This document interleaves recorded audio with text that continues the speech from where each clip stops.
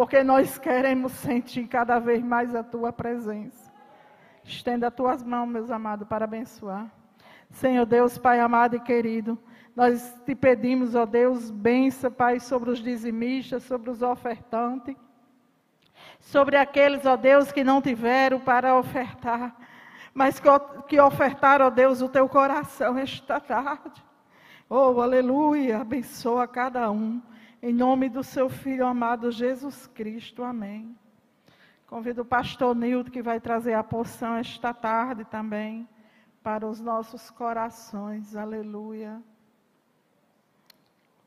Aleluia. Oremos pelo nosso pastor. Deus querido e amado e eterno.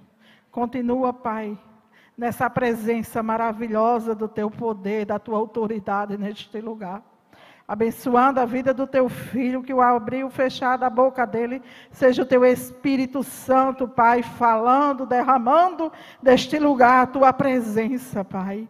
Abençoa ele hoje e sempre. Amém.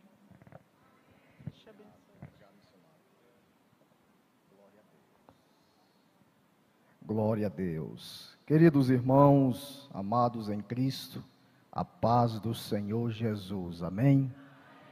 Graças a Deus por mais uma tarde deste dia, essa tarde tão maravilhosa, onde estamos concentrados nessa reunião, nesse culto.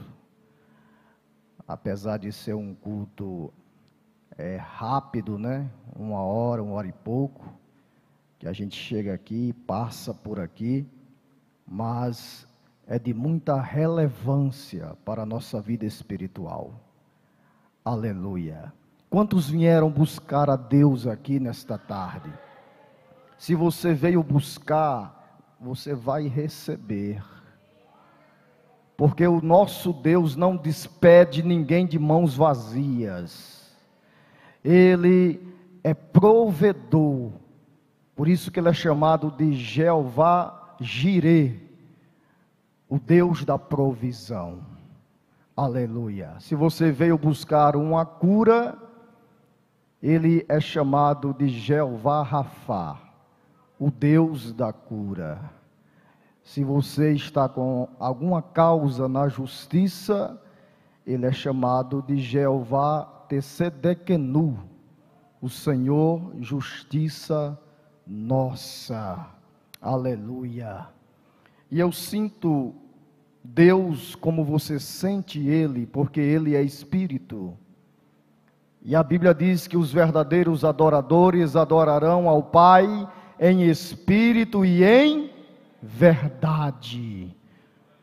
E se de fato você estar aqui em verdade, com o coração aberto, com a alma ans, com anseio de receber a presença, a palavra, a glória impactante, com certeza você vai ser chacoalhado, você vai ser cheio do poder espiritual, da glória de Deus, da força do Espírito, da paz que reina em nosso coração e nosso interior. Abra sua Bíblia por gentileza, no livro de Hebreus.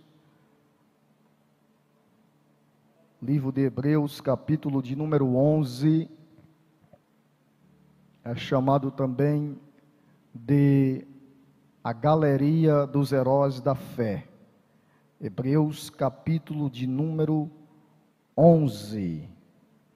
E aos irmãos que estão na internet, os internautas, você que é cadeira cativa no pocinho de Jacó. Deus em Cristo te abençoe. Esta palavra é direcionada a você também que está na sua casa, no seu trabalho, ou até dirigindo um veículo e está conectado no pocinho de Jacó. Aleluia. Deus abençoe. O Senhor tem recompensas para você nesta tarde. Hebreus capítulo 11. Glória a Deus. Apenas o verso primeiro. Quem encontrou, diga amém. Ora, a fé é a certeza daquilo que esperamos e a prova das coisas que não vemos. Ora, a fé é a certeza daquilo que esperamos e a prova daquilo que não vemos ou das coisas que não vemos. Diga a fé. Mais uma vez, a fé. É isso que te move. É isso que te leva e que te traz à presença de Deus. A fé, ela nos transporta ao trono de Deus, à sala do seu trono. A fé, ela não tem que ser superficial. Ela tem que ser uma fé sobrenatural, que vai além do natural, que vai além das expectativas, que vai além das lutas, que vai além das provações, que vai além das limitações, que vai além dos embates, das batalhas, se a sua fé não estiver na altura de um campeão, na altura, na relevância de uma pessoa que de fato se disponibilizou para buscar a presença de Deus, se a tua fé não estiver, aleluia, na presença do Altíssimo, você não vai receber. Você não vai receber, você não vai sair daqui com a sua vitória. E eu quero falar, eu quero ser sucinto e breve, eu quero falar sobre os benefícios práticos da fé. Primeiro, confiança e alegria em meio à tribulação. Segundo, relacionamento com o Senhor. Terceiro, conhecer e viver a vontade de Deus. Isso fala da obediência. Quarto, agradar a Deus. Quinto, vencer o mundo. Sexto, respostas das nossas orações. E sétimo, adoção. Glória a Deus. Embora, irmãos, o fim da nossa fé seja a nossa salvação em Cristo Jesus, a verdadeira fé, a verdadeira fé e consumada ou é consumada em nossos corações ela gera benefícios necessários para uma vida cristã. A confiança e alegria é um dos benefícios necessários em meio à tribulação. Glória a Deus. Quer ver? Abra aí a sua Bíblia em Tiago, capítulo 1, verso 2 ao 4, por gentileza. Vamos pregar de uma maneira expositiva. Tiago, você trouxe Bíblia? Capítulo de número 1, glória a Deus. Tiago, capítulo 1. Louvado seja o nome de Jesus. Tiago, carta de Tiago, capítulo número 1. Aleluias. Glórias ao nome de Jesus. Tá, antes de Pedro. Capítulo 1. Meus irmãos, considerem motivo de grande alegria o fato de passarem por diversas provações pois vocês sabem que a prova da sua fé, diga a prova da minha fé, produz perseverança. E a perseverança deve ter ação completa, a fim de que vocês sejam maduros e íntegros, sem lhes faltar coisa alguma. Então, à medida que você vai sendo provado com a sua fé em Deus, vai sendo gerado em você, em seu coração, na sua maturidade cristã, a perseverança, que é a continuidade para se conquistar algo que você está correndo. Nós não corremos em vão. A nossa corrida da fé tem uma recompensa. A sua corrida da fé tem uma recompensa de Deus. Se você está correndo para alcançar algo terreno, você vai alcançar, é verdade. Mas se você está correndo para alcançar algo celestial, como os dons do Espírito Santo, como o dom da fé, como por exemplo, você está correndo para alcançar conquistas de Deus, que Deus prometeu só para a sua vida e para a sua família, você vai alcançar, porque está sendo provada a sua fé, e através dessa prova há a perseverança. E é na perseverança, pregador Júnior, que recebemos de Deus as recompensas. Você não pode parar, você não pode desistir, você não pode deixar de lado aquilo que você já começou. Se você começou a andar, se você começou a trilhar, se você começou um propósito há uma semana, há duas, há um mês, há dez meses, eu não sei, se já faz um ano, continue, persevere, porque há uma recompensa através da tua perseverança, porque está sendo provada a tua fé. Amém? Relacionamento com o Senhor Hebreus 11, 27. Abra aí. Vamos voltar para Hebreus, mesmo capítulo. Louvado seja Deus. Quantos estão entendendo? Hebreus 11, 27. As palavras ainda uma vez indicam. Perdão, irmãos. Hebreus 11, 27. Eu estava no 12. 11, 27. Pela fé saiu do Egito, diga Egito. Pela fé saiu do Egito, não temendo a ira do rei, e perseverou, porque via aquele que é invisível.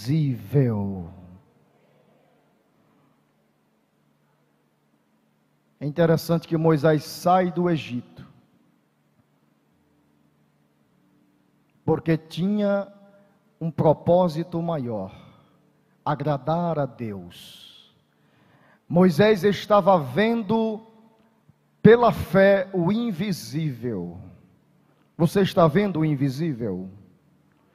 Você pode contemplar Deus agora sentado em seu trono olhando para você, olhando para a sua situação, olhando para o seu problema.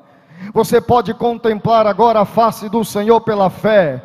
Você saiu do Egito e do Egito você não retornará jamais, porque Deus tem um propósito maior na tua vida, como teve na vida de Moisés. Pela fé saiu do Egito, não temendo a ira do rei, porque ele ficou firme, ele perseverou, como estivesse vendo a Deus face a face, porque Deus projetou para a vida de Moisés algo melhor, algo maior como Deus projetou para a tua vida algo maravilhoso, algo que os teus olhos físicos ainda não viu, mas breve você vai contemplar posteriormente a vitória que Deus vai entregar em sua mão, porque você está correndo nesta carreira espiritual, você está correndo pela fé, como se você estivesse vendo a Deus e Deus está junto de você nesta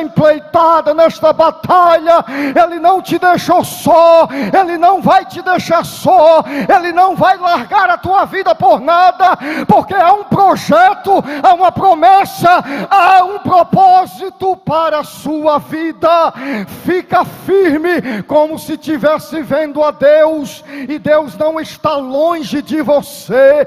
O Deus que você serve é o Deus que está perto e está longe. Para Ele, tanto faz o longe como perto, Ele é onipresente, Ele está em todos os lugares. Contempla a tua vitória, veja pela fé o invisível nesta tarde. O invisível. Ramanto e Gandagassura Mandagai. Viemos buscar pela fé. Conhecer e viver a vontade de Deus, isso fala de obediência. Hebreus capítulo 11, verso de número 8. Pela fé, todos os heróis, descritos em Hebreus, ouviram a voz do Senhor e puderam obedecer. Aqui está o segredo. Ouvir a voz de Deus. Quantos já ouviram a voz de Deus? Quantos já ouviram a voz de Deus por intermédio de profetas aqui? Quantos ouviram a voz de Deus na voz íntima? Deus também fala na, no íntimo do nosso ser, a voz do Espírito Santo. É interessante que o segredo do sucesso é ouvir e obedecer. Todos os heróis descritos na galeria dos heróis da fé deste livro, deste texto, ouviram a voz de Deus e puderam obedecê-lo. Você quer ter a tua vitória? Então obedeça. Se Deus te falou que é um mês de propósito, faça um mês de propósito, você faça. Se Deus te falou que é para você ficar na cidade, fica na cidade, não vá embora. Não seja teimoso a voz do Senhor. Se Deus te falou que no ano de 2023, no mei, no, nos meados de junho, julho, a tua bênção vai chegar, então acredita, guarda esta palavra em seu depósito, que vai chegar. O que ele prometeu, ele é fiel para fazer. Em todas as suas palavras, na historicidade bíblica, nunca houve uma palavra que caiu por terra. Deus falou, Deus cumpriu cumpriu. É assim na tua vida, não vai ser revogado. O que Deus falou a teu respeito, o que Deus já decretou, vai acontecer. O diabo não quer, os teus opositores não querem, mas vai acontecer. Olha para teu irmão agora e diga: vai acontecer, vai chegar o teu momento, vai chegar a tua alegria, vai ter festa, vai ter banquete, vai ter vitória de Deus. Quantos acreditam, joga a mão lá em cima e adora ao Senhor. Agradar a Deus. Quarto, agradar a Deus. Hebreus 11, 6. Agradar a Deus. Sem fé é impossível agradar a Deus. É impossível. É debalde, é em vão. Se você não tiver fé, mas eu estou falando aqui de uma fé genuína, uma fé que transcende o natural, uma fé sobrenatural. É a única fé que agrada a Deus, é a fé sobrenatural. É a fé genuína. Não estou falando aqui de uma fé natural. A fé natural é aquela que você acredita que vai passar em um vestibular, né? A fé natural é aquela que você acredita que vai adquirir um carro zero quilômetro. Tudo bem, através dos esforços e da permissão de Deus, até que você consegue. Mas essa fé aqui de Hebreus, em agradar ao Senhor, oh irmãos, como é difícil muitas vezes, né? A nossa natureza pecaminosa nos leva a caminhos tortuosos muitas vezes. Mas o nosso Deus é tão bondoso, tão misericordioso, que nos perdoa quando nós nos debruçamos diante da Sua face, diante da sala do Seu trono e pedimos perdão a Ele. A Bíblia diz que nós temos um advogado junto ao Pai, e o nome dele é Jesus Cristo Justo. Se você de fato errou, vacilou, escorregou, se você saiu do caminho por algum momento, não esqueça, você tem um advogado e o nome dele é Jesus de Nazaré. Ele estará desse destra de Deus e intercede por nós. Amém?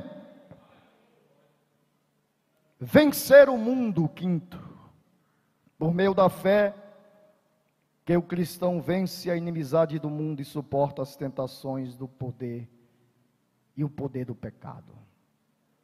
O mundo é o sistema, irmãos. É o sistema que Satanás está por trás, no oculto regimentando na área da política, na área da cultura, do entretenimento, na área do esporte, das diversões mundanas, Satanás ele está por trás. É o sistema. E vencer o mundo é vencer Satanás e seus súditos. E para vencer o mundo, é preciso estar revestido, cheio do poder do Espírito Santo. Uma vida vazia, uma vida seca, uma vida sem Deus, não tem nenhum sentido para nós, né? Nós somos chamados para a plenitude do Espírito Santo. Nós somos chamados para pisar serpentes e escorpiões no poder do Espírito de Deus. Você foi chamado para estar em cima e não embaixo. Você foi chamado para estar em lugar de destaque. Você foi chamado e Deus te fez príncipe e princesa. Você não é qualquer um. Você é filho, é filha de Deus respostas às nossas orações. Estou terminando. Jesus disse que as nossas orações feitas com fé seriam atendidas. É claro que a oração feita de fato com fé está alinhada à vontade de Deus. Nem todas as vezes que você pede, você vai receber tem que estar alinhada à vontade de Deus, mas a tua oração é atendida sim. O Senhor já ouviu a sua oração, está tão somente esperando, aleluia, o momento certo para entregar na tua vida o que você pediu porque é Ele que determina o tempo, a hora, as estações, é Ele o dono de todas as coisas. Ele vai te dar no tempo certo, mas a tua oração já foi atendida, já chegou a presença de Deus. Amém? E por último, a adoção. Por meio da fé, o Espírito Santo testifica em nosso espírito, no espírito humano, que somos filhos de Deus. Sem fé não há adoção. O privilégio maior de toda a redenção é não sermos apenas servos, mas filhos de Deus. Olha o patamar que você chegou. Olha onde você está, em que posição de filho de Deus. É pouca coisa, hein, irmão Júnior? É pouca coisa, hein, minha querida Lúcia? Você é filha. Irmã Netinha, você é filha de Deus. Irmão Sérgio, você é filho de Deus. Então você, eu, nós, a igreja, Pão da Vida, ou outras igrejas, outros ministérios, nós somos os mais privilegiados desta terra. Você é o maior milionário desta terra porque você é filho do Deus Todo-Poderoso, aquele que tem nas mãos todo o poder, aquele que pode ressuscitar mortos, aquele que pode curar enfermos, aquele que pode abrir portas aonde não tem, aquele que desmancha, desmancha laços, destrói barreiras, destrói correntes, aquele que pode, o invisível, o indescritível, o Deus fiel que prometeu prometeu e vai cumprir na tua história. Amém? Vamos ficar de pé. Vamos agradecer a Deus por esta rica oportunidade. Quero convidar minha esposa. Vem cá, meu amor. Glória ao nome de Deus, vamos orar. Quantos receberam esta porção do céu? Continue vindo, não deixe de vir. Amanhã é sexta. E amanhã tem mais. Vamos orar. Querido Deus, nosso Pai, te louvamos, te exaltamos, Pai, por tua grande benignidade. Obrigado, Deus, por ter falado conosco por intermédio da tua palavra. Revigora as forças de cada irmão, de cada irmã que chegou no templo. E daqueles também que estão, ó Pai, conectados na internet visita o coração, ou os corações, meu Pai, de cada um, fazendo conforme a tua palavra, a tua vontade. Abençoa grandemente, meu Pai, a igreja Pão da Vida Abençoa os líderes, meu Deus, pastor Chico Chagas, pastora Jossanete, pastor Gabriel, pastora Isla, dando forças, meu Deus, fortalecendo a cada amanhecer, a cada anoitecer. Abençoa o ministério, meu Pai, da igreja, todos os membros, a membresia. Abençoa nos quadrantes desta nação, nos quadrantes deste mundo, meu Pai, e que a tua mão continue repousando sobre nossas vidas e nos fazendo vencer as batalhas e as lutas, meu Senhor. E nós, meu Deus, por fim diremos: somos mais do que vencedores. Levanta a tua mão e diga: somos mais do que vencedores. Pelo sangue de Jesus, somos mais do que vencedores. Vamos continuar vencendo Saúde seu irmão com a paz do Senhor. Uma boa tarde. Deus abençoe a todos os irmãos do YouTube, das redes sociais. Deus abençoe.